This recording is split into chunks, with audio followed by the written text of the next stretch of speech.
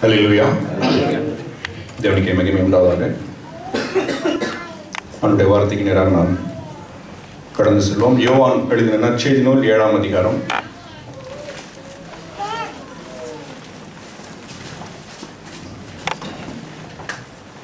நாங்கள் யோவான் எழுதின நற்செய்தி நூல் ஏழாம் அதிகாரம் முப்பத்தி ஏழு முதல் நாற்பது வசனங்களை நாம் வாசிப்போம். பண்டிகையின் கடைசி நாளாகிய பிரதான நாளிலே இயேசு நின்று சத்தமிட்டு ஒருவன் தாகமாயிருந்தால் என்னிடத்தில் வந்து பானம் பண்ண கடவன் வேத வாக்கியம் சொல்லுகிறபடி என்னிடத்தில் விசுவாசமாயிருக்கிறவன் எவனோ அவன் உள்ளத்திலிருந்து ஜீவ தண்ணீர் உள்ள நதிகள் ஓடும் என்றார். தம்மை விசுவாசிக்கிறவர்கள் அடையப் போகிற ஆவியை குறித்து இப்படி சொன்னார். இயேசு இன்னும் மகிமைப்படாதிருந்தபடியினால் பரிசுத்த ஆவி இன்னும் அருளப்படவில்லை. ஜனங்களில் அநேகர் இந்த வசனத்தை கேட்ட பொழுது மெய்யாகவே இவர் தீர்க்கதரிசியானவர் என்றார்கள். ஆமேன். நம் கண்களை மூடி நாம் கத்தனமோடு கூட பேசும்படியாக இந்த விளையாண்டோரை நோக்கி நாம் செபிப்போம் ஒரு நிமிஷம் கத்தனமோடு கூட பேசும்படி நம்ம ஒவ்வொருவரும் ஆண்டவரை நோக்கி நாம் ஆண்டவரே என்னோடு கூட நீங்கள் பேசுங்க என்று சொல்லி நாம் நாம் கேட்போமா? வழக்கமாக இன்னொரு ஆராதனை இன்னொரு வெள்ளிக்கிழமை என்று சொல்லி நாம் வந்து போகிறவர்களா இல்லாதபடிக்கு ஆண்டவருடைய வார்த்தை வேதம் சொல்லுகிறது. அது ஜீவனும் வல்லமையுள்ளதாக இருக்கிறது. ஆவியையும் கணுக்களையும் அது உருவ குத்துகிறதா இருக்கிறது. ஆமென். ஹalleluya. அப்படியாக திறனோடு கூட பேசுவீராக தகப்பனே என்று சொல்லி நாம் எல்லாரும் நாம் ஜெபம் பண்ணுவோமா? ஹalleluya. ஹalleluya. நம் பாடலில் பாடினதை போல சம்பூர்ண ஆசீர்வாதத்தோடு கூட ஆண்டவர் நம்மை திருப்தியாய் அனுப்ப வேண்டும் என்று சொல்லி நாம் பாடின பாடலை போல ஆண்டவருடைய வார்த்தை மாத்திரமே நம்மை சம்பூர்ணமாய் ஆசீர்வதிக்கக்கூடிய ஜீவனும் இல்லதா இருக்கிறது. ஆமேன். ஹலலூயா ஹலலூயா பரலோக பிதாவே நன்றியோடு துதிக்கிறோம் ஸ்தோத்திரிக்கிறோம்ப்பா உம்முடைய ஜீவனுள்ள நம்முடைய வார்த்தைகளுக்காக நன்றி தகப்பனே. ஆண்டவரே எங்களை ஊன்ற எழும்ப கட்டுகிற வல்லமை உள்ள உடைய ஜீவ வார்த்தைகள்.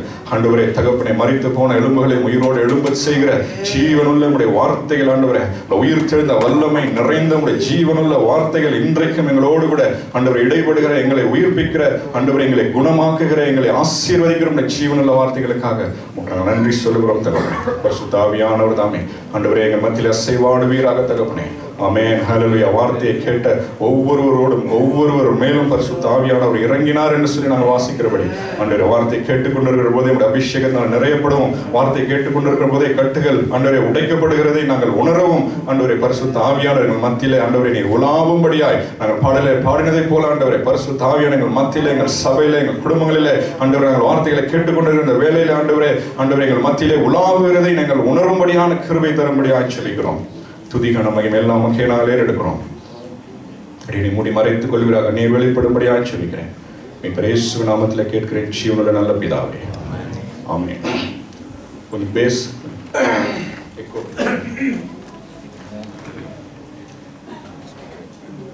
பண்டிகையின் கடைசி நாளிலே இயேசு நின்று சத்தமிட்டு ஒருவன் தாகமாயிருந்தால் என்னிடத்தில் வர கடவன் என்னிடத்தில் வந்து பானம் பண்ண கடவன் வேத வாக்கியம் சொல்லுகிறபடி என்னிடத்தில் விசுவாசமா இருக்கிறவன் எவனோ அவன் உள்ளத்தில் இருந்து ஜீவ தண்ணீர் உள்ள நதிகள் புறப்படும் ஓடும் என்று சொல்லி சொன்னார் தம்மை விசுவாசிக்கிறவர்கள் அடைய போகிற ஆவியை குறித்து ஆண்டவராக இயேசு கிறிஸ்து இப்படியாக சொன்னார். இயேசு இன்னும் மகிமைப்படாதிருந்ததுனாலே பரிசுத்த ஆவியானவர் இன்னும் அருளப்படவில்லை. நம்ம எல்லாருக்கும் தெரிந்த அவனுடைய வார்த்தை. இப்போ ஆண்டோராக இயேசு கிறிஸ்து பரிசுத்த ஆவியானவருடைய அபிஷேகத்தை குறித்து ஆண்டவராக இயேசு கிறிஸ்து சொன்ன அற்புதமான வார்த்தைகள். இப்போ இந்த வாசல் இந்த நான்கு நான் வாசித்த இந்த மூன்று வசனங்களில் ஆண்டவர் என்ன சொல்றார் அப்படின்னா அபிஷேகம் என்றால் என்ன? அபிஷேகம் வந்து ஒரு மனுஷனுக்குள்ளாக எப்படி இறங்குகிறது அதற்கான தகுதிகள் என்ன? அது எப்படி வந்து நமக்குள்ளாக கிரியை செய்கிறது? என்று சொல்லி ஆண்டவர் வந்து ரொம்ப அழகாக இந்த மூன்று வசனங்களில் ஆண்டவர் சொல்றார் அப்படின்னு பார்க்கணும். இப்போ இந்த அபிஷேகம் பெற்றுக்கொள்வதற்கான தகுதிகள் என்ன? அப்படின்னு சொல்லி இந்த வசனத்தில் ஆண்டவர் அழகாக சொல்றார். முப்பத்தி ஏழாம் வசனத்துல ஆண்டவர் சொல்றார் ஒருவன் தாகமாயிருந்தால் என்னிடத்திலே வர கடவுள் அப்போ முதலாவது தகுதி ஆண்டவர் சொல்ற இந்த ரெண்டு தகுதிகள். முதலாவது தகுதி என்ன ஆண்டவர் சொல்றார் அப்படின்னா தாகமாய் இருக்கணும். ஆமேன். முதலாவது தகுதி ஒருவன் தாகமாக இருந்தால் அவன் இடத்துல வந்து இலவசமாய் பானம் பண்ண கடவன் அடுத்து இன்னொரு தகுதி ஆண்டவர் சொல்றாரு முப்பத்தி எட்டு முப்பத்தி ஒன்பதாம் வருஷத்துல என்னிடத்தில் விசுவாசமா இருக்கிறவனுடைய உள்ளத்திலிருந்து ஜீவ தண்ணீர் உள்ள நதிகள் ஓடும். ஆமே அப்போ ரெண்டு தகுதிகள் தான் ஆண்டவர் சொல்றார். ஆண்டவர் இயேசு ஒன்று உண்மையான ஒரு தாகம். ஆண்டவர் என்னை அபிஷேகிக்க வேண்டும் என்கிற உண்மையான ஒரு தாகம் ஒரு மனுஷனுக்கு இருக்கணும். அதுக்கு அடுத்து ஆண்டவர் என்னையும் அபிஷேகிப்பார் அப்படின்ற விசுவாசம் இருக்கு. ஆமென். வேதத்துல வந்து நம்ம அபிஷேகத்தை குறித்து நிறைய வசனங்களை படித்திருக்கிறோம் நிறைய செய்திகளை நாம் கேட்டிருக்கிறோம். நிறைய தகுதிகள் ஒருவேளை சொல்லலாம் நீங்க பரிசுத்தமா இருக்கணும்ன்றத நீங்க நல்லா உபாசித்து ஜெபிக்கணும். நிறைய காரியங்கள் ஒருவேளை நாம் கேட்டிருக்கலாம். ஆனா இந்த அடிப்படையான இந்த ரெண்டு தகுதிகள் இருந்தா மற்ற எல்லாமே தானா வந்துடும் ஆமென். உண்மையான ஒரு வாஞ்சை ஒரு தாகம் இருந்தா உண்மையாவே ஒரு மனுஷன் அடுத்து வந்து நம்ம உபாசம் இருந்து ஜெபிக்கலாம்.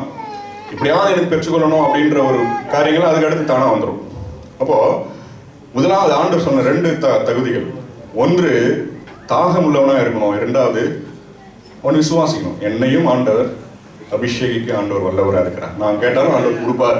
அப்படின்ற விசுவாசம் இருந்தால் போதும் ஆண்டவர் வந்து அபிஷேகிப்பார் அப்படின்னு சொல்லி பார்க்குறப்போ இந்த அபிஷேகத்துக்கான தகுதிகள் என்னன்னு சொல்லி ஆண்டவர் சொல்றதா ஃபைனல் ஆண்டவராக இயேசு கிறிஸ்து தான் வந்து இந்த அனாயிண்டிங் அவர் தான் கொடுக்குறவர். அவர் தான் வந்து owner owner of the anointing யாருன்னா ஜீசஸ் கிரைஸ்ட் தான் ஆமே ஏன் சொன்னீங்கன்னா நம்ம பார்க்குறோம். ஆண்டவர் சொன்னார் நான் போய் வேறொரு தேற்றரவாளனை நான் உங்களுக்கு அனுப்புவேன். நான் போகாவிடில் அவர் வரமாட்டார். நான் வாசித்த இந்த வசனத்தில் அதான் நான் வாசிக்கிறேன். இயேசு கிறிஸ்து இன்னும் மகிமைப்படாது இருந்ததினாலே பரிசுத்தாவியானவர் இன்னும் அருளப்படவில்லை. அப்போ ஆண்டவர் இன்னும் கல்வாரி சிலுவைக்கு போல அவர் மறிக்கல அவர் உயிர் தெழுதல். ஆகினால பரிசுத்தாவியான வரமாட்டாரு. அவர் இன்னும் வரவில்லை அப்படின்னு சொல்லி நாம் பார்க்கணும். அப்போ இந்த இரண்டு தகுதிகளை தான் ஆண்டவர் சொல்றார். நம்ம முப்பத்தி எட்டாம் வசனத்தை நான் வாசிப்போம். வேத வாக்கியம்.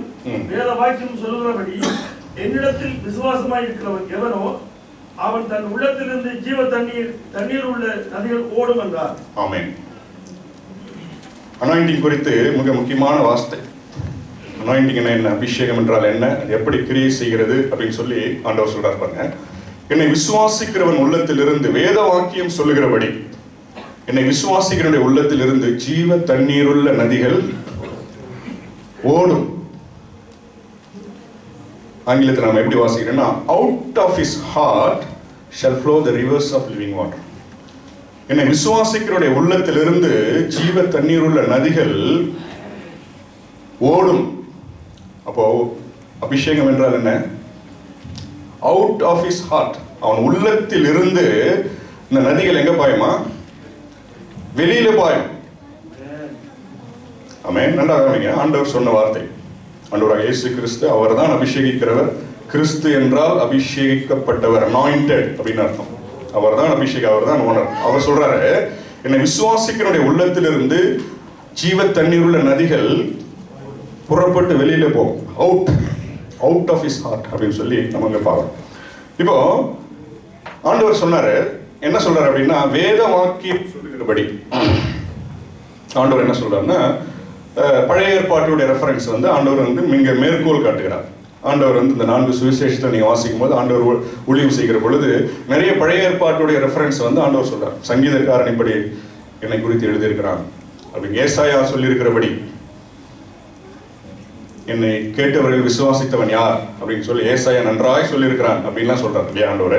அப்போ இப்போ வந்து ஒரு பழைய ஏற்பாட்டுடைய ரெஃபரன்ஸ் வந்து ஆண்டவர் அனாயிண்டிங்கை பற்றி பழைய ஏற்பாட்டில் என்ன சொல்லியிருக்கிறது என்பதை ஒரு ரெஃபரன்ஸ் சொல்லி ஆண்டவர் வந்து இங்கே சொல்றார். வேத வாக்கியம் சொல்லுகிறபடி என்னை விசுவாசிக்கிறேன் உள்ளத்திலிருந்து ஜீவ தண்ணீர் உள்ள நதிகள் புறப்பட்டு ஓடும் ஓடும் அப்படின்னு சொல்லி ஆண்டவர் சொல்றார். இப்போ இந்த வசனத்தில் வந்து ஆண்டவர் வந்து எந்த வசனம்னு சொல்லி இங்கே சொல்லல ஆமே வேத வாக்கியம் சொல்லுகிறபடி அப்படின்னு சொல்லி சொல்றாரு தவிர பழைய ஏற்பாட்டில் கரெக்டாக எந்த ரெஃபரன்ஸை ஆண்டவர் இங்கே சொல்கிறாரு அப்படின்னு சொல்லி நான் யோசித்து பார்த்தப்போ ரெஃபரன்ஸ் பைபிள் எடுத்து நம்ம பார்ப்போம் அப்படின்னு சொல்லி ரெஃபரன்ஸ் பைபிள் எடுத்து பார்க்கும்போது அங்கே வந்து நிறைய வசனங்கள் சொல்லப்பட்டிருக்கு. ஆனால் ஆண்டவர் வந்து இங்கே வேத வாக்கியங்கள் அப்படின்னு சொல்லலை. என்ன சொல்கிறாரு ஆஸ் த ஸ்கிரிப்சர் சேஸ் வேத வாக்கியம் சொல்லி ஒரு வசனத்தை தான் ஆண்டவர் சொல்கிறார் அப்போ அந்த ஒரு வார்த்தை அந்த எந்த வசனத்தை ஆண்டவர் கரெக்டாக சொல்கிறாரு அப்படின்னு சொல்லி நம்ம பார்க்கணும். இப்போ நான் ரெஃபரன்ஸ் பைபிள் எடுத்து பார்க்கும்போது இந்த வசனத்துக்கு நேராக வந்து பழைய ஏற்பாட்டில் அனாயிண்டிங் பற்றி நிறைய இடத்துல சொல்லப்பட்டிருக்கிறது நிறைய வசனங்களை வந்து அந்த எல்லா வசனத்தையும் சொல்லியிருக்கு. நீங்கள் தமிழ் ரெஃபரன்ஸ் பைபிள் நீங்கள் எடுத்து பார்த்தீங்கன்னா நிறைய வசனம் ஏசை ஐம்பத்தி ஐந்து ஒன்று சொல்லி வாசிங் பார்ப்பேன் யாரும் சீக்கிரமா. ஒருவன் தாகமாக இருந்தால் என்னிடத்தில் வந்து இலவசமாய் அவன் பானம் ஓ. தாகமாய் இருக்கிறவர்களே நீங்கள் எல்லாரும் தண்ணீர் அண்டைக்கு வாருங்கள். பணம் இல்லாதவர்களே.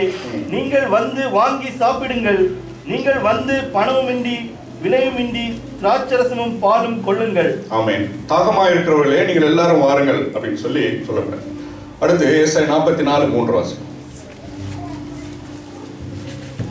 தாகமுள்ளவன் மேல் தண்ணீரையும். வறண்ட நிலத்தின் மேல் ஆறுகளையும் ஊற்றுவேன். உன் சந்ததியின் மேல் என் ஆவியையும் உன் சந்தானத்தின் மேல் என் ஆசீர்வாதத்தையும் ஊற்றுவேன். ஆமென். ஏசாயா பன்னிரெண்டு மூணு கூட போட்டிருக்கு. ஏசாயா பன்னிரெண்டு மூணு வாசம் நீங்கள் ரட்சிப்பின் ஊற்றுக்களில் இருந்து மகிழ்ச்சியோட தண்ணீர் மொண்டு கொள்வீர்கள். ஆமென். அப்போ இதெல்லாம் வந்து இது எல்லா வசனமும் போட்டிருக்கு ரெஃபரன்ஸ்ல ஆனா ஆண்டவர் கரெக்டா எதை சொன்னார்? யோவேல் ரெண்டு இருபத்தெட்டு கூட போட்டிருக்கு. இதோ கடைசி நாட்களிலே மாம்சமனை யாவர் மேலும் என் ஆவியை ஊற்றுவேன். உங்கள் குமாரர் உங்கள் குமாரத்திகளும். அதற்கு பின்பு நான். மாம்சமான யாவர் மேலும் என் ஆவியை ஊற்றுவேன். அப்பொழுது உங்கள் குமாரரும் உங்கள் குமார்த்திகளும் தீர்க்க தரிசனம் சொல்லுவார்கள். உங்கள் மூப்பர் சொப்பனங்களையும் உங்கள் வாலிபர் தரிசனங்களையும் காண்பார்கள். ஆமென். அப்போ நிறைய வசனங்கள் வந்து இங்க ரெஃபரன்ஸ்ல போட்டிருக்கு. இதுல கரெக்டா ஆண்டவர் எதை சொன்னார்னு நம்ம கண்டுபிடிக்கும் இப்போ கரெக்டா இதுல எது மேட்ச் ஆகுது அப்படின்னு சொல்லி நம்ம பார்த்தோம்னா ஏசாய நாற்பத்தி நான்கு மூன்று நம்ம மறுபடியும் வாசம் ஏசாய நாற்பத்தி நான்கு மூன்று. தாகமுள்ளவன் மேல் தண்ணீரையும். வறண்ட நிலத்தின் மேல் ஆறுகளையும் ஊற்றுவேன் ஆமென். அப்போ இந்த வசனம் தான் வந்து ஆண்டவர் சொல்றார். தாகமுள்ளவன் மேல் என் தண்ணீரையும் வறண்ட நிலத்தின் மேல் என் ஆறுகளையும் ஊற்றுவேன் அப்போ இந்த வசனமும் நீங்கள் ஜான் செவன்டீன் ஜான் அதாவது செவன் தேர்ட்டி எயிட் ஏழு முப்பத்தெட்டு நீங்கள் வாசிக்கும் பொழுது அங்கே அந்த மூன்று வசனத்தில் வந்து தாகம் என்ற வார்த்தை வருது.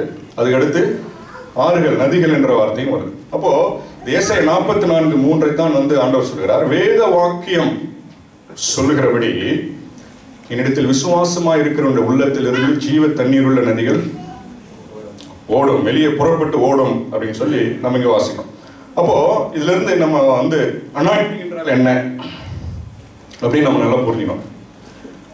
அப்போ அனாயிண்டிங் என்றால் என்னன்னு சொல்லி ஆண்டவர் வந்து ரெண்டு வசனத்தை லிங்க் பண்ணி ஆண்டவர் சொல்லுது யோவான் ஏழு முப்பத்தி எட்டு என்னை விசுவாசிக்கிறவன் உள்ளத்திலிருந்து ஜீவ தண்ணீர் உள்ள நதிகள் புறப்பட்டு ஒன்று வெளியிலே போவோம் அடுத்து அவர் சொல்றாரு வேத வாக்கியத்துல இருந்து பழைய ஏற்பாட்டிலிருந்து இன்னொரு ரெஃபரன்ஸ் அவர் சொல்றாரு ஏசாய நாற்பத்தி நான்கு மூன்று. அதை நான் மறுபடியும் நான் வாசிக்கும் போது தாகமுள்ளவன் மேல் என் தண்ணீரையும் வறண்ட நிலத்தின் மேல் என் ஆறுகளையும் உன் சந்ததியின் மேல் என் ஆவியையும் உன் சந்தானத்தின் மேல் என் ஆசீர்வாதத்தை நான் ஊற்றுவேன். அப்போ ஏசாய நாற்பத்தி நான்கு மூன்று நான் வாசிக்கும் போது அங்க வந்து திரும்ப திரும்ப வருகிற வார்த்தை என்ன நான் ஊற்றுவேன் நான் ஊற்றுவேன் அப்படின்னு சொல்லி வருது.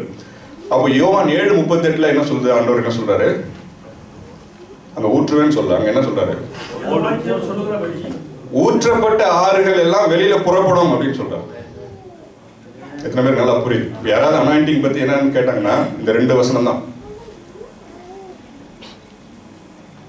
முதலாவது ஊற்றப்படுதல் அடுத்து ஊற்றப்பட்ட அந்த நதிகள் வெளியில புறப்பட்டு ஓடுதல். ஊற்றப்படுதல் வெளியிலே புறப்படுதல். அப்போ இந்த ரெண்டும் சேர்ந்துதான் வந்து அனாயிண்டிங் அப்படின்னு சொல்லி ஆண்டவர் ரொம்ப அழகா தெளிவா ஜீசஸ் என்ன அதான் ஃபைனல் நான் வாசிப்பேன் இன்னொரு வசனத்தை. பழைய ஏற்பாட்டிலையும் இதுக்கு ஆதாரங்கள் இருக்கிறது. சங்கீதம் நூத்தி முப்பத்தி மூன்று முதல் இரண்டு வசனங்களை நாம் வாசிப்போம்.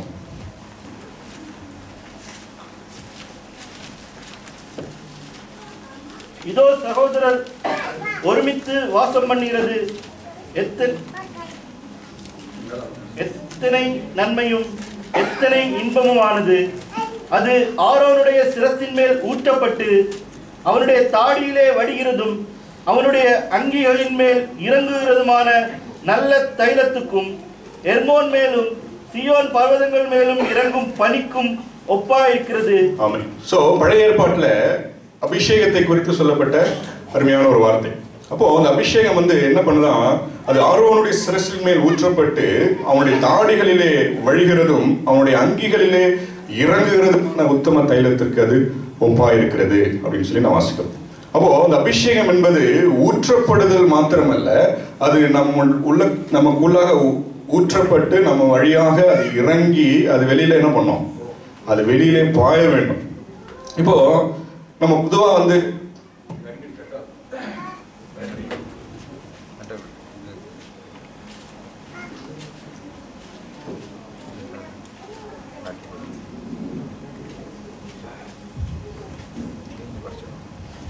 அலையிலுயா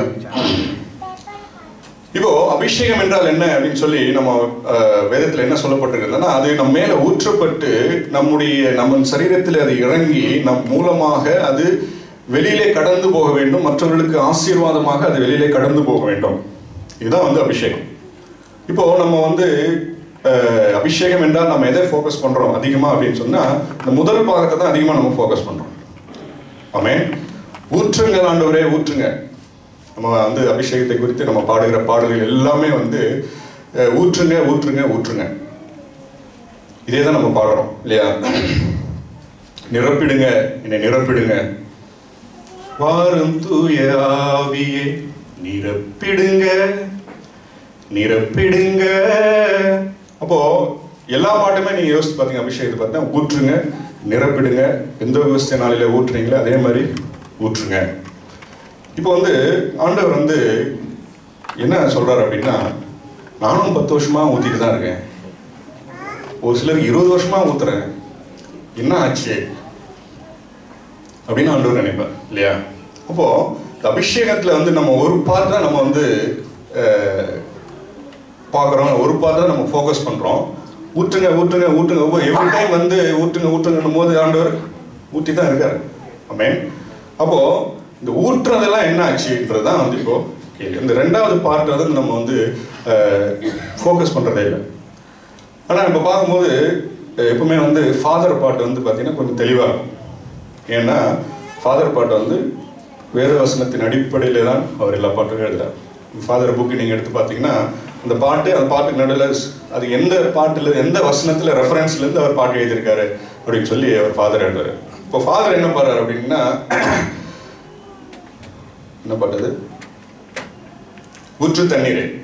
ஊற்று தண்ணீரே எந்த தேவ ஆவியே?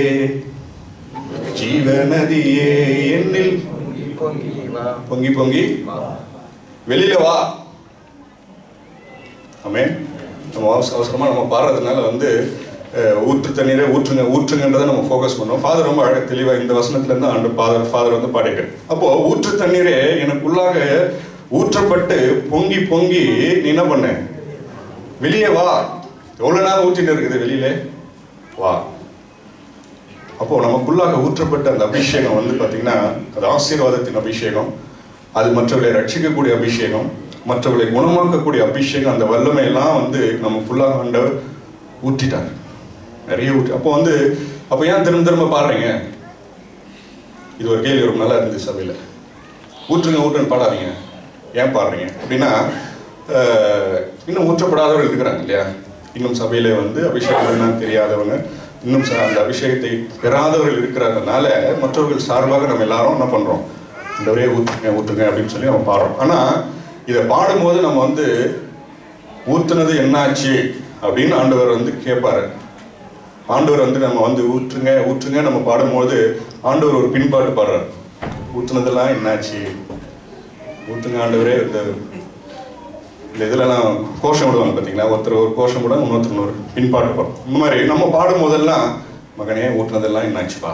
அதுன்னு ஆண்டவர் சொல்லலாம் அப்போது இது அபிஷேகம் என்பது எனக்குள்ளாக ஊற்றப்பட்டு அது மற்றவர்களுக்கு அது அபிஷேகமாக மற்றவர்களுக்கு ஆசீர்வாதமாக அது போதா இல்லையான்றதை வந்து அதற்குரிய பதிலை நமக்கு நம்மகிட்ட இருக்கணும். அப்படி இருந்தால் தான் நம்ம தைரியமாக பாடணும் அந்த பாட்டு.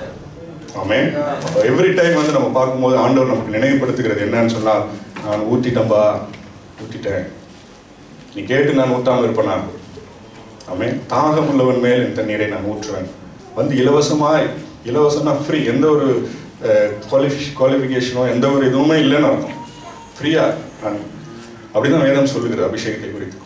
அப்போது நான் இலவசமாய் ஊற்றுகிறவன் ஆகினாலே நான் ஏற்கனவே ஊற்றி ஆயிற்று ஊற்றப்பட்ட அந்த அபிஷேகத்தை மற்றவர்களுக்கு ஆசீர்வாதமாக நீ வெளியில நீ எடுத்துப்போ அப்படின்னு சொல்லி நீ ஆண்டவர் சொல்றாங்க அப்போ ஆண்டவர் ஆண்டவராக இயேசு கிறிஸ்துடைய வாழ்க்கையை நம்ம யோசித்து பார்க்கும்போது அவருக்குள்ளாக ஊற்றப்பட்ட அந்த அபிஷேகத்தை ஆண்டவர் எப்படி வெளியில அவர் மற்றவர்களுக்கு ஆசீர்வாதம் ஊற்றினார் என்று சொல்லி நாம் வேதத்தில் வாசிக்கிறோம். வான் மூன்று முப்பத்தி நான்கை நாம் வாசிப்போம். John three thirty four. தேவனால் அனுப்பப்பட்டவர் தேவனுடைய வார்த்தைகளை பேசுகிறார். தேவன் அவருக்கு தமது ஆவியை அளவில்லாமல் கொடுத்திருக்கிறார். ஆமென். ஆண்டவராக இயேசு கிறிஸ்துவை பிதா எப்படி அபிஷேகித்திருக்கிறாரா? அளவில்லாமல் ஆண்டவர் ஆண்டவராக இயேசு கிறிஸ்துவை ஆண்டவர் அபிஷேகித்தார் அப்படின்னு சொல்லி பார்க்கிறோம் அப்போ அந்த ஊற்றப்பட்ட அந்த அளவில்லாத அபிஷேகத்தை ஆண்டவராக இயேசு கிறிஸ்து தன்னுடைய மூன்றரை வருஷ ஊழியத்துல வந்து பாத்தீங்கன்னா அது எல்லாவற்றையும் அவர் வெளியிலே அவர் ஊற்றினார். அந்த அபிஷேகம் எல்லாம் அவர் சரீரத்தின் மூலமாக அவருடைய வார்த்தையின் மூலமாக வெளியே வந்து சுரமாக்கும் வல்லமையாக பிசாசுகளை துரத்துகிற வல்லமையாக அநேக ரட்சிக்கக்கூடிய வல்லமையாக அந்த அபிஷேகத்தின் வல்லமை அந்த மூன்றரை வருஷத்துல வந்து எல்லாத்தையும் ஊத்திட்டார். அல்லேலூயா அப்போ அந்த அபிஷேகம் வந்து இப்படிதான் கிரியை செய்து நமக்குள்ளாக ஊற்றப்பட்ட அதே அபிஷேகத்தை தான் ஆண்டவர் நமக்குள்ளாக ஊற்றிருக்கார். பெந்தைகோஸ்தே நாளிலே எந்த அபிஷேகம் சீஷர்கள் மேல் ஊற்றப்பட்டதோ அந்த அபிஷேகத்துக்கும் இன்றைக்கு நீங்களும் நானும் ஊற்றப்பட்டிருக்க அந்த அபிஷேகத்துக்கும் ஏதாவது வித்தியாசம் இருக்கா? வித்தியாசமே ஒரே ஆவியானவர் அதே ஆவியானவர் தான் இன்றைக்கு நம்ம மேலும் ஊற்றப்பட்டிருக்கிறார். ஒரே டிஃப்ரென்ஸ் என்னன்னா நம்ம ஊத்துங்க ஊத்துங்க பாடிட்டே தான் இருக்கிறோம். அவங்க என்ன பெற்றுக்கொண்டாங்களோ அதை வெளியிலே கொண்டு போய் ஆசீர்வாதமாக வெளியிலே மாற்றினார்கள். இதுதான் டிஃபரன்ஸ் அப்படின்னு சொல்லி நம்ம இங்கே பார்க்கிறோம்.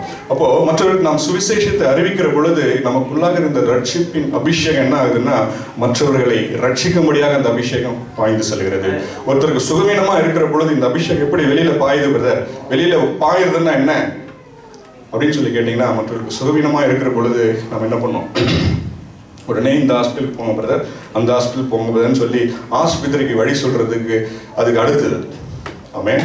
உடனே சுகமயமாக இருக்கிறவங்க என்ன பண்ணோம் உடனடியாக நம் நமக்குள்ளாக அந்த அபிஷேகத்தை ஆண்டவர் கொடுத்துருக்கிறார். அந்த குணமாக்கும் அபிஷேகம் நமக்குள்ளாக இருக்கிறது என்ற விசுவாசத்தோடு கூட தலையில கையை வச்சு என்ன பண்ணோம் செபிக்க வேண்டும். இதுதான் வந்து விசுவாசம். அந்த அபிஷேகம் வந்து வெளியில பாய்கிறது என்று சொல்லி நான் பார்க்கிறோம். அப்போ அபிஷேகத்தை வந்து நம்ம பெற்ற ஒரு மனுஷன் வந்து எதுவுமே பண்ணாம சும்மாவே இருந்துக்கிட்டு திரும்ப திரும்ப அந்த திரும்ப தான் ஊற்றுங்க ஊற்றுங்கன்னு சொல்லிட்டு இருந்தா அதில் வந்து மீனிங் இல்லை. அதில் வந்து அர்த்தம் இல்லை அப்படின்னு சொல்லி நீங்கள் பார்க்கணும். இப்போ இந்த அபிஷேகம் வந்து நம்மளுடைய சரீரத்திலிருந்து நமக்குள்ளாக ஊற்றப்பட்ட அந்த அபிஷேகம் வெளியில பாய்கிற பொழுது அது எப்படிப்பட்ட ஆசீர்வாதத்தை மற்றவர்கள் கொண்டு வருகிறது? வெளியில பாயறதுன்னா என்ன? அது வெளியில பாய்கிற பொழுது எப்படிப்பட்ட ஆசீர்வாதங்களை சபைக்கும் நம்மை சார்ந்தவர்களுக்கும் அது வெளியில பாய்கிற பொழுது எப்படிப்பட்ட ஆசீர்வாதத்தை கொண்டு வருகிறது அப்படின்னு சொல்லி நம்ம பார்ப்போம் இது வந்து வெளியில பாய்கிறது அவுட் அப்படின்னு சொன்னீங்கன்னா ஒரு சிலர் வந்து இந்த சபை இந்த வசனத்தை வந்து தப்பாக வந்து புரிஞ்சுக்கிறாங்க. தப்பாக புரிஞ்சுக்கிறாங்க. அந்த அபிஷேகம் வெளியில் பாயுது பிரதர் என்னை வந்து வெளியே போக சொல்கிறாரு அந்த வெளியில் அப்படியே போயிட்டு சபையை விட்டு வெளியில் போகிற மாதிரி ஆகிப்போம் அப்போது இந்த அபிஷேகம் வந்து ஒரு மனுஷனுக்கு ஆண்டவர் அபிஷேகம் ஊற்றுறது எதுக்கு? சபையை விட்டு வெளியே போகிறதுக்கா சபை என்பது கிறிஸ்துவனுடைய சரீரம். இல்லை? கிறிஸ்துவின் சரீரத்திற்கு அது ஆசீர்வாதமாக போனோம் அதுக்கு தான் வந்து அபிஷேகத்தை ஊற்றுறதுனா சபை விட்டு வெளியில் போகிறதுக்கு இந்த அபிஷேகம் அவுட் அப்படின்னோடனே அவுட்னு சொல்லி அவுட் ஆஃப் த சர்ச் அப்படின்ற மாதிரி புரிஞ்சிக்கூடாது தயவு செய்து. அதனால் வந்து மற்றவர்களுக்கு வெளியில் போகணும். நம்ம சார்ந்தவர்களுக்கு நம்ம முதல்ல நம்ம குடும்பத்துலேருந்து அதை ஆரம்பிக்கணும். சபையில் இருக்கிறவர்களுக்கு சபையில் மூலமாக அது வெளியிலே பாய வேண்டும். ஆசீர்வாதமாக அது மா- பாய வேண்டும் அப்படின்னு சொல்லி நம்ம இங்கே பார்க்கணும். இப்போது பழைய ஏற்பாட்டில் வந்து இதுக்கு ஆதாரங்கள் இருக்கிறது.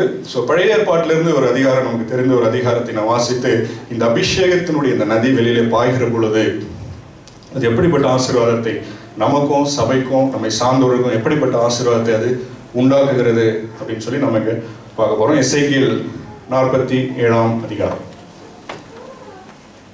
எஸ்ஐகியல் நாற்பத்தி ஏழு பின்பு அவர் என்னை ஆலயத்தின் வாசலுக்கு திரும்பி வர பண்ணினார் முதல் வசனம் வாசிங்க பின்பு அவர் என்னை ஆலயத்தின் வாசலுக்கு திரும்பி வர பண்ணினார். இதோ வாசற்படியின் கீழிருந்து. தண்ணீர் புறப்பட்டு கிழக்கே ஓடுகிறதாய் இருந்தது. ஆலயத்தின் முகப்பு கிழக்கு நோக்கி இருந்தது அந்த தண்ணீர் ஆலயத்தின் வலதுபுறமாய் பலிபீடத்துக்கு தெற்கே பாய்ந்தது அவர் என்னை வடக்கு வாசல் வழியாய் புறப்பட பண்ணி முதல் வசனம் மட்டும் போதும். முதல் வசனம்.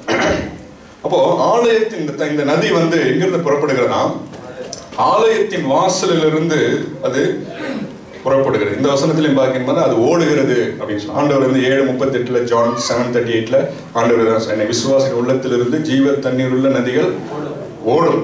அப்போ இந்த வசனத்தில் நான் பார்க்கும்போது அந்த ஆலயத்தின் முகப்பில் இருந்து அது என்ன பண்ணுது? அந்த அந்த நதி புறப்பட்டு கிழக்கே ஓடுகிறதாய் இருந்தது. இப்போ ஆலயத்தின் வாசல்ல இருந்து இந்த நதி என்ன பண்ணுது? புறப்படுது. அப்போ ஆலயம் என்று சொன்னா நம்ம தான் ஆலயம்.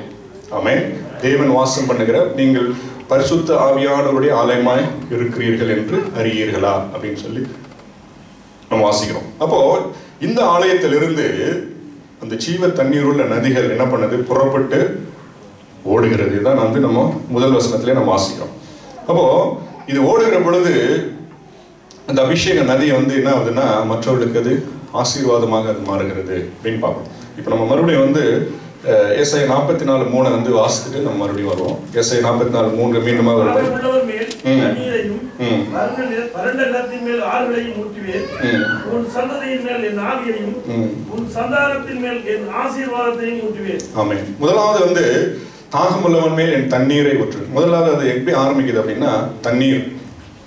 தண்ணீரில் ஆரம்பிக்குது. அதுக்கு அடுத்து வந்து அது வறண்ட நிலத்தின் மேல் என் ஆறுகளை ஊற்றுவேன். முதலாவது தண்ணீரில் ஆரம்பிக்குது. அதுக்கு அடுத்து என்ன ஆகுது? அந்த தண்ணீர் என்ன ஆகுறது? ஆறாய் மாறுகிறது. ரிவராய் மாறுகிறது. எப்படி? ஒரு மழை பெய்யும் போது சின்ன சின்ன தூரல் தான் பெய்யுது. அப்போ முதல்ல வந்து சின்ன தண்ணீர் அப்படின்னு சொல்றோம். அதுக்கப்புறம் மழை நிறைய பெஞ்ச உடனே அது ஆராய் ஓடுகிறது அப்படின்னு சொல்லி ஆமா அதுக்கு அடுத்து உன் சந்ததியின் மேல் என் ஆவியை நான் ஊற்றுவேன். உன் சந்தானத்தின் மேல் என் ஆசீர்வாதத்தை ஊற்றுவேன். அப்போ அந்த ஊற்றப்பட்ட அந்த தண்ணீர் வந்து கடைசியாக எப்படி மாறுது அது? அது ஆசீர்வாதத்தின் நதியாய் மாறுகிறது. ஆமென். நம்ம ஊற்றப்பட்ட அந்த அபிஷேகம் மற்றவர்களுக்கு அது ஆசீர்வாதமாய் அது பாய்ந்து ஓட வேண்டும். இதுதான் வந்து முக்கியமான காரியம். இதுதான் ஆண்டவர் யோவான் ஏழு முப்பத்தெட்டுல அவர் மீண்டுமாய் வலியுறுத்துகிறார். சரி. இப்போ இந்த தண்ணீர் பாய்ந்து ஓடு. நமக்குள்ளாக இருந்து இந்த தண்ணீர் ஜீவ தண்ணீர் உள்ள நதிகள் புறப்பட்டு ஓடும் அப்படின்னு சொல்லி நாம் வாசிக்கிறோம். ஏசைக்கு நாற்பத்தி ஏழை வந்து நம்ம எடுத்து வச்சுப்போம். முதலாவது இந்த தண்ணீர் ஓடுகிற பொழுது என்ன நடக்கிறது அப்படின்னு சொல்லி நம்ம பார்க்கறோம் எட்டாம் வசனத்தை நான் வாசிப்போம். அவர் என்னை நோக்கி. இந்த தண்ணீர் கிழக்கு தேசத்துக்கு புறப்பட்டு போய். வனாந்திர வழியாய் ஓடி. கடலில் விழும் இது கடலில் பாய்ந்து விழுந்த பின்பு. அதன் தண்ணீர் ஆரோக்கியமாகும். ஆமென்.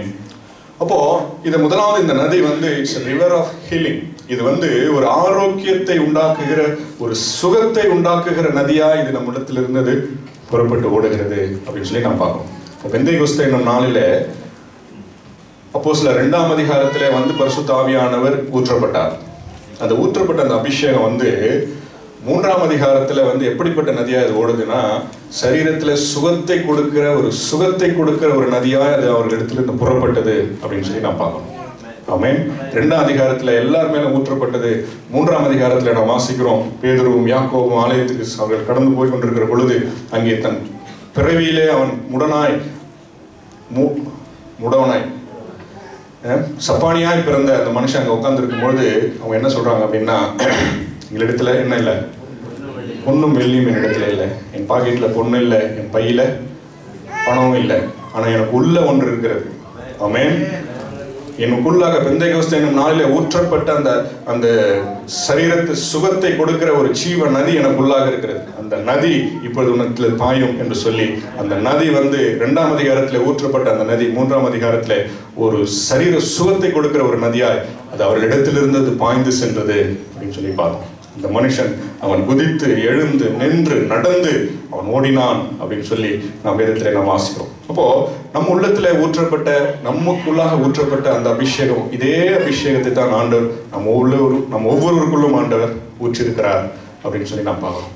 அப்போ இந்த நதியானது வந்து பார்க்கும்போது நம்முடைய சரீர நம்முடைய பலத்தினாலோ நம்முடைய ஜெபத்தினாலோ நாம் ஒருத்தருக்கு சுகத்தை கொடுக்க போறதில்ல. நமக்கு உள்ளாக ஊற்றப்பட்டிருக்கிற இந்த அபிஷேகத்தின் வல்லமை வந்து நம்ம ஜஸ்ட் வந்து நம்ம ஓபன் பண்ணா போதும். ஆமென். பேதரும் யோவானும் வந்து அவன் மேல கை வச்சு முழங்கால் படிட்டு அவன் ஜெபம் பண்ணல. வசந்த நல்லா நீங்க வாசிங்க. அவங்க ஜெபமே பண்ணல. என்னிடத்தில் உள்ளதை நான் கொடுக்கிறேன். நசரேனாக இயேசுவின் நாமத்திலாய் எழுந்து நட. ஓப்பன் தான் பண்ணாங்க. இந்த உள்ள இந்த ஃப்ளட் கேட்டை வந்து பெரிய டேம்ல வந்து ஒரு ஃப்ளட் கேட் இருக்குன்னு வச்சுங்க ஓப்பன் பண்ணாங்க அவ்வளோதான் அதே போலதான் நமக்குள்ளாக அந்த அபிஷேகம் நிரம்பி வழிகிற பொழுது நிரம்பி வழியும்படியான ஒரு அபிஷேகத்தை ஆண்டு நம்ம ஊற்றிருக்கிறார். அப்போ மற்றவர்களுக்கு வந்து அது ஒரு சுகத்தை கொடுக்கிற ஒரு நதியாக நம் உள்ளத்திலிருந்து அது புறப்பட வேண்டும் அப்படின்னு சொல்லி நாம் அறிந்து கொள்ள வேண்டும். ஓகே அடுத்த ரெண்டாவது அந்த நதி அது பாயும் பொழுது அடுத்த வசனத்தை நான் வாசிப்போம். சம்பவிப்பது என்னவென்றால். இந்த நதி போகும் இடமெங்கும் சஞ்சரிக்கும் ஜீவ பிராணிகள் யாவும் பிழைக்கும். இந்த தண்ணீர் அங்கே வந்தபடியினால் ம். வெகு ஏராளமான மச்சங்களும் உண்டாயிருக்கும். ஆமென். இந்த தண்ணீர் இந்த நதி வந்து பாய்கிற இடத்துல என்ன உண்டாயிருக்குமா? ஏராளமான மச்சங்கள் உண்டாயிருக்கும். மச்சம் என்ன ஓகே நிறைய பேர் சொல்றீங்க. இந்த கன்னத்துல இருக்காது வெகு திரளான மச்சம் இங்கிலீஷ்ல நீங்க படிச்சீங்கன்னா ரொம்ப ஈஸியா புரிஞ்சிடும் இப்ப சின்ன பிள்ளைங்களாம் இதை படிச்சானா புரியாது அவனுக்கு திரளான மச்சங்கள் இருக்கும் பொழுது அப்படின்னா வேற மாதிரி அவன் புரிஞ்சுக்கும் அப்போ இங்கிலீஷில் நீங்க படிச்சீங்கன்னா the mul the great multitudes of fish திரளான மீன்கள் உண்டாயிருக்குமா? இந்த நதி பாய்கிற இடத்துல திரளான மீன்கள் உண்டாயிருந்தது அப்படின்னு பார்க்கும்போது அப்போ அந்த மீன் அப்படின்னா புதிய பாட்டில் வந்து ஆண்டவர் மீனுக்கு மீன் எதுக்கு ஒப்பிடுகிறார்? இந்த மீன் வந்து எதற்கு ஒப்பா இருக்கிறது அப்படின்னா ஆத்துமாக்களுக்கு ஒப்பா இருக்கிறது ஆமென். ஆண்டவராக இயேசு கிறிஸ்து பேதுருவை வந்து முதல் முதலாக சந்திக்கிற பொழுது அவர் வந்து மீன் பிடிக்கிறதுல அவர் ரொம்ப பெரிய எக்ஸ்பர்ட்டா இருந்தார். அப்போ வந்து அவர் வந்து ராத்திரி முழுவதும் அவர் பிரயாசப்பட்டு ராத்திரி முழுவதும் வலைகளை போட்டு அவர் ஒன்றும் கிடைக்காதனால காலையில வந்து ரொம்ப விரக்தியோடு கூட ஒண்ணுமே கிடைக்கலையே நீ வீட்டில் கொண்டு போயிட்டு குழம்பு வைக்கிறதுக்குள்ள ஒரு ரெண்டு மீன் அப்படின்ற வந்து ரொம்ப விரக்தியில அவர் வந்து வலைகளை அலசி கொண்டிருக்கும் போது ஆண்டவர் அவரை சந்திக்கிறார். அப்போ வந்து சொல்றான் வந்து ஆண்டவர் அவரை பார்த்து என்ன சொல்றாரு. நீ ஆழத்திலே கொண்டு போய் உன்னுடைய வலையை போடு. அப்போ ஆண்டவர் சொன்ன ஆண்டவருடைய வார்த்தையின்படியே நான் போடுகிறேன். ராத்திரி முழுதும் நான் பிரயாசப்பட்டேன். ஆனாலும் உம்முடைய வார்த்தையின்படியே நான் போடுகிறேன் என்று சொல்லி அவன் வலையை போட்ட பொழுது என்ன கிடைச்சது? வெறும் மீன் தான் கிடைச்சது. திரளான மீன்கள் வலை கிழியத்தக்கதான மீன். இன்னொரு இடத்துல வாசிக்கிறோம். படகு அமிழத்தக்கதான மீன். Net breaking and boat sinking fish வலை கிழியத்தக்கதாகவும் படகு அமிழத்தக்கதாகவும். அப்போ அது முடிஞ்ச உடனே ஆண்டவர் என்ன சொல்றாரு? இது வரைக்கும் மீன் பிடிக்கிறவனா இருந்த. இனிமேல் நான் உன்னை என்ன பண்ணுவேன்? I will make you fishers of men இனிமேல் மனிதனை பிடிப்பாய். அப்போ இந்த திரளான மீன்கள் வந்து திரளான ஆத்துமாக்களை அது குறிக்கிறதா இருக்கிறதுன்னு ஆண்டவர் சொன்னார். அப்போ இந்த வார்த்தை எங்கே நிறைவேறினது? ஆண்டவர் சொன்ன இந்த வார்த்தை பேதனுடைய வாழ்க்கையில் எங்கே நிறைவேச்சு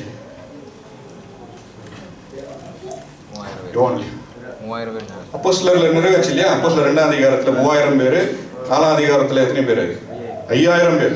அப்போ இதுதான் வந்து ஆண்டவர் சொன்னார். திரளான மீன்களை பிடிப்பேன் மனுஷரை பிடிக்கிறவளாய் நான் உன்னை மாற்றுவேன் அப்படின்னு சொன்னா திரளான ஆத்துமாக்களை பிடிக்கிற ஒரு சபையின் அஸ்திவார தூணாய் நான் உன்னை மாற்றுவேன். அல்லா அப்போ இந்த நதி பாய்கிற இடத்துல எல்லாம் என்ன உண்டாயிருக்குமா? திரளான ஆத்துமாக்களை சம்பாதிக்கக்கூடிய ஒரு ஆத்தும அறுவடையை உண்டாக்குகிற ஒரு அபிஷேகத்தின் நதி நமக்கு உள்ள இருக்கிறது. ஆமேன். கொஞ்சம் சத்தமா ஆமேன்னு சொல்லுங்க. அல்லேலூயா. வெறுங்கையில நமக்குள்ளாக இருக்கிறது. ஆண்டவர் நமக்குள்ளாக ஊற்றப்பட்ட அபிஷேகத்தினுடைய வல்லமை மேன்மை என்ன அப்படின்னு சொன்னீங்கன்னா இந்த அபிஷேகம் பாய்கிற இடத்துல எல்லாம் திரளான ஆத்துமாக்களை ஆத்தும அறுவடையை ஆண்டவர் கொண்டு வருவார்.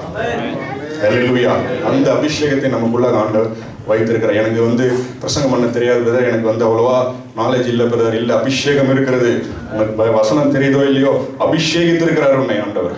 அல்லேலூயா அப்ப இந்த அபிஷேகம் நம் சபை மூலமாக நம் கடந்து செல்லுகிற பொழுது ஒருத்தர் வந்து ஆத்துமாக்களை அவர் வந்து ரட்சிக்கப்படலை. அவருக்கு என்னால் முடிஞ்ச ஒரு வசனத்தை சொல்லி அவருக்காக நம்ம ஜெபம் பண்ணாலே போதும். நமக்குள்ளாக இருக்கிற அந்த அபிஷேகம் புறப்பட்டு அது பெரிய ஒரு ஆத்தும ஒரு ஒரு அறுவடையை அது கொண்டு வருகிற அபிஷேகத்தை ஆண்டவர் நமக்குள்ளாக ஆண்டவர் வைத்திருக்கிறார் அப்படின்னு சொல்லி நாம் பார்ப்போம். அதனால மற்றவர்களுக்கு வந்து இது வரைக்கும் வந்து நான் நற்செய்தி மற்றவர்கள் நான் சொல்லவே இல்லை. எப்படி சொல்றதுன்னு எனக்கு தெரியல. அப்படின்னு சொல்றவங்க வந்து இந்த ஊற்றுங்க ஊற்றுங்கன்ற ஒரு அபிஷேகத்தை நம்ம பாடுற பாடும்போது நம்ம யோசிக்கணும். இது வரைக்கும் ஒருத்தர் கூட நான் நற்செய்தி சொல்லவில்லை. கடந்த வாரத்தில் சொல்லப்பட்ட மெசேஜ் எங்கள் எவ்வளோ பேருக்கு ஞாபகம் இருக்குன்னு தெரில ரொம்ப அழகாக அவர் சொன்னார். நாம் எடுக்கிற பிரயாசங்கள். கிறிஸ்துவளுக்காக கிறிஸ்துவுக்குள்ளாக நீங்கள் படுகிற பிரயாசம் ஒருபோதும் வீணாய் போகாது அப்படின்னு சொன்னார்.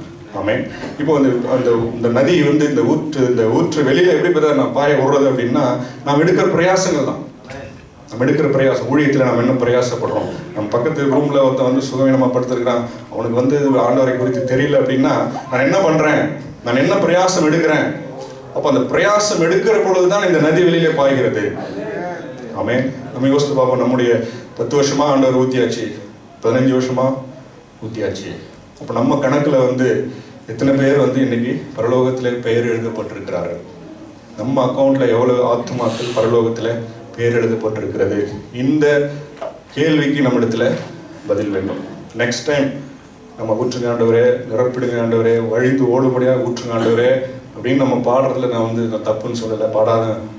பாட்டுங்க எடுத்தா எல்லாரும் பாடுதாம பாடாமல் நிறுத்திடாதீங்க. ஆனால் பாடுகிற பொழுது இதுக்குரிய பதில் எனக்கு இருக்கிறதா?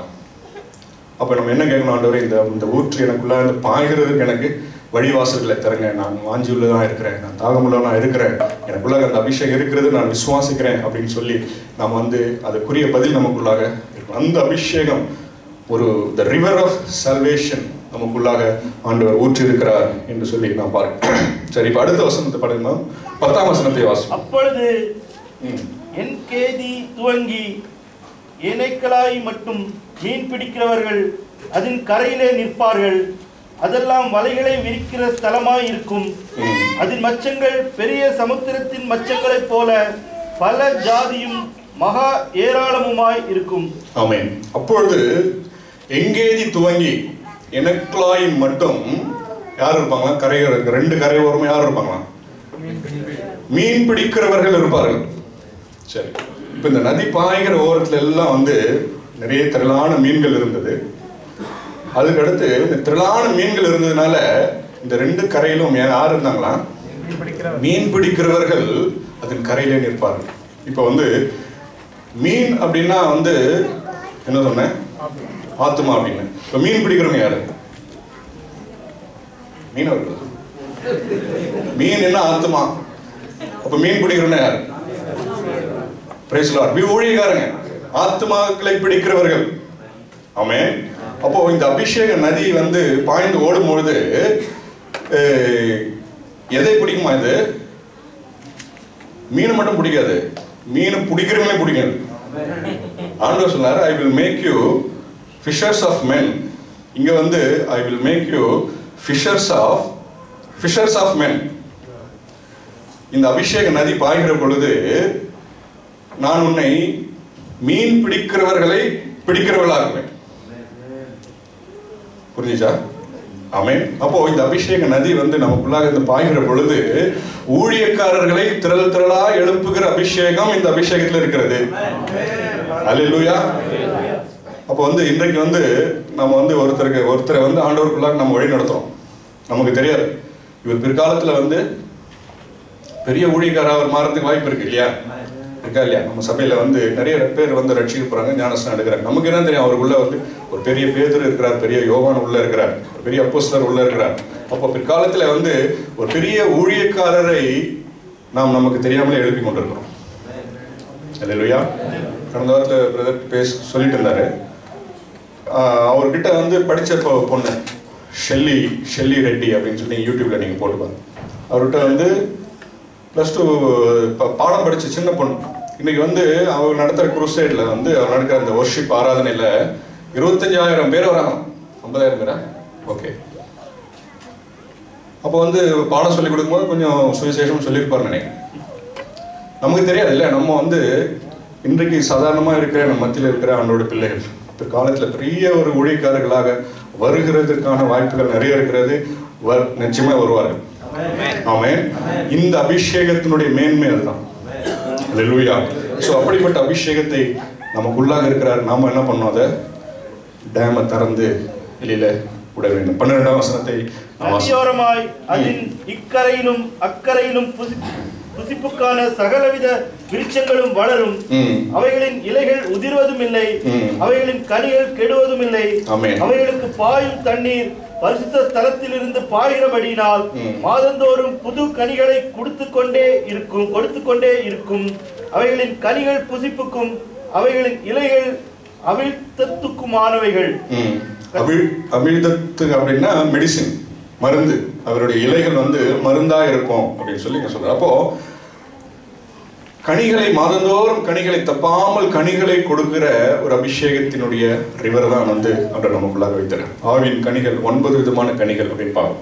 ஆனா இங்க வேதம் சொல்லுகிறது மாதந்தோறும் புது புதிய கனிகள். அப்போ பன்னிரெண்டு மாதம் பன்னிரெண்டு விதமான கனிகளை கொடுக்கிற அபிஷேகம். நம்முடைய வார்த்தைகள் பிறருக்கு அதனுடைய இலைகள் மற்றவர்களுக்கு மருந்தாய் மாறும். இப்போ இந்த அபிஷேகம் நமக்குள்ளாக நிரம்பி ஓடுகிற பொழுது மற்றவர்களுக்கு அது மருந்தாய். நம்முடைய வார்த்தைகள் நம்முடைய நமக்குள்ளாக இருந்து புறப்படுகிற இந்த ஆவியின் கனிகள் எல்லாம் வந்து மற்றவர்களை திருப்திப்படுத்துகிற மற்றவர்களை ஆசீர்வதிக்கிற ஒரு அபிஷேக நதியாய் நமக்குள்ளாக இருந்து அது புறப்படும் அப்படின்னு சொல்லி நம்ம இடத்துல வாசிக்கிறோம். யோவான் ஏழு முப்பத்தெட்டில் ஆண்டவர் சொன்னார் என்னை விசுவாசிக்கிற உள்ளத்திலிருந்து ஜீவ தண்ணீர் உள்ள நதிகள் புறப்படும். அந்த நதியானது மற்றவர்களை சுகமாக்குகிற நதி மற்றவர்களை ரட்சிப்புக்குள்ளாக வழிநடத்துகிற ஒரு ரட்சிப்பின் நதி ஊழியக்காரர்களை திரளாய் எழுப்புகிற ஒரு நதி மற்றவர்களை ஆசீர்வதிக்கிற மற்றவர்களுக்கு மருந்தாய் மற்றவர்களுக்கு ஆசீர்வாதமாய் ஓடுகிற ஒரு ஆவியின் கனிகளால் நிறைந்த நதி ஆண்டவர் நமக்குள்ளாக இருக்கிறார். ஸோ விசுவாசத்தோடு கூட இந்த நதியை நாம் மற்றவர்களுக்கு ஆசீர்வாதமாக நாம் திறப்பதற்கு ஆண்டவர் நம்மை நம்மை ஆசீர்வதிப்பாராக. ஆமென்